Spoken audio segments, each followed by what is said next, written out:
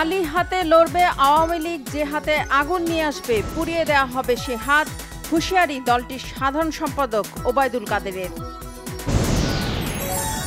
জনগণ ভোটের অধিকারের জন্য তত্ত্বাবধায়ক সরকারের দাবি করছে, যাতে ভোটকে কেউ প্রভাবিত করতে না পারে। মন্তব্য বিএনপির স্থায়ী কমিটির সদস্য ডক্টর আব্দুল মঈন খানের। আওয়ামী লীগ সরকারের পতন সন্নিকটে।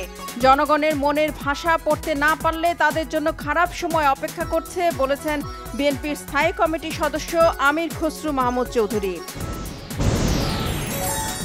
আওয়ামী লীগ নয়, বিএনপি বিদেশিদের কাছে ক্ষণে ক্ষণে দৌড়ায়, বলেছেন তথ্য ও সম্প্রচার মন্ত্রী ডক্টর হাসান মাহমুদ। রোহিঙ্গা প্রত্যাবাসনে কার্যকর পদক্ষেপ নেয়ার জন্য জাপানের সহযোগিতা চেয়েছেন পররাষ্ট্র প্রতিমন্ত্রী শাহরিয়ার আলম।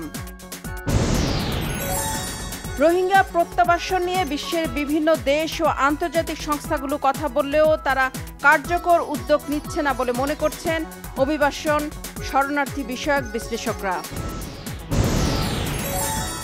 বরিশাল শেরে বাংলা মেডিকেলে দুই ছাত্রীকে র্যাগিং, তথ্য সংগ্রহে যাওয়া সাংবাদিকদের উপরও শিক্ষকদের হামলা।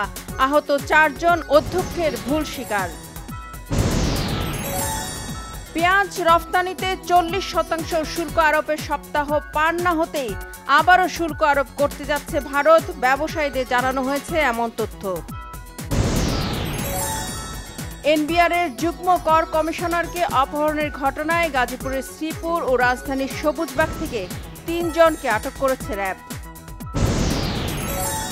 সাইদির মৃত্যুতে ছাত্রলীগের যারা সমবেদনা জানিয়ে বিভ্রান্তি তৈরি করেছে তারাই দলে অনুপ্রবেশকারী বলেছেন ছাত্রলীগ সভাপতি সাদ্দাম হোসেন।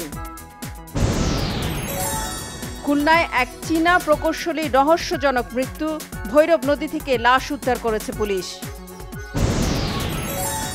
টানা বৃষ্টি আর উজানের ঢলে ফের বাড়ছে তিস্তার পানি, বিভিন্ন পয়েন্টে বইছে বিপদসীমার উপর দিয়ে কুড়িগ্রামে সবকটি নদ নদীর পানি বৃদ্ধি অব্যাহত। ভারতের তামিলনাড়ুতে দাঁড়িয়ে থাকা ট্রেনে আগুন, নিহত দশ, বগিতে অবৈধভাবে রাখা গ্যাস সিলিন্ডার থেকে আগুনের সূত্রপাত। ভারতের উনষাট শতাংশ মানুষ প্রধানমন্ত্রী হিসেবে আস্থা রেখেছেন নরেন্দ্র মোদীর উপরই। এক জনমত জরিপে উঠে এসেছে এই তথ্য। বিমান বিধ্বস্ত হওয়ার দুদিন পর দুর্ঘটনাস্থল থেকে ওয়াগনার প্রধান ইয়েভগেনি প্রিগোজিন সহ দশ জনের লাশ উদ্ধার। চন্দ্রযান থ্রি এর ল্যান্ডার বিক্রম ও রোভার প্রজ্ঞানের প্রথম সেলফি প্রকাশ করেছে ভারতের মহাকাশ সংস্থা ইসরো। এশিয়া কাপে বাংলাদেশের লক্ষ্য সুপার ফোর জানিয়েছেন tiger coach Chandrika Hathurusinghe ও অধিনায়ক সাকিব আল হাসান। ক্রিশ্চিয়ানো রোনালদোর দুরন্ত হ্যাট্রিকে সৌদি প্রো লিগে জয় পেয়েছে আল নাসর। রোনালদো তিন গোল এবং সাদিও মানে করেছেন দুই গোল।